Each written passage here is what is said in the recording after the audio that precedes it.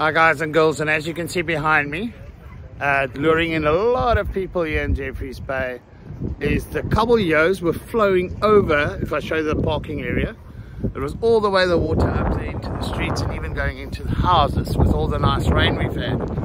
And uh, earlier this morning, uh, it broke through there and it's always such a nice sight, but it's, it's just water and water coming down.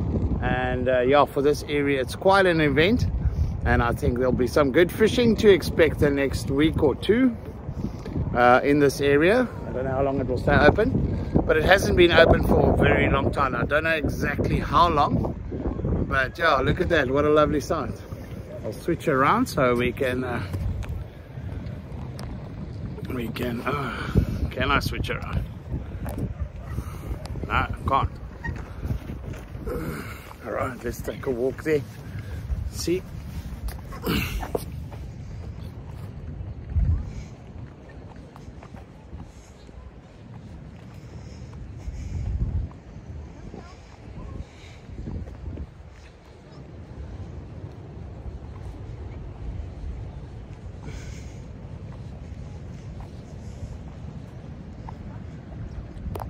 Yo, it's actually looks like it's emptying the whole uh, the whole lagoon here.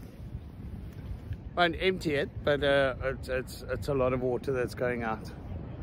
Lovely right there if you can look. I wonder what. Uh, oh, now I'm being. Uh, but if you look up there, uh, there on the dunes, where the water level was all the way almost at the sea see there's still water lying there and that then broke through this morning.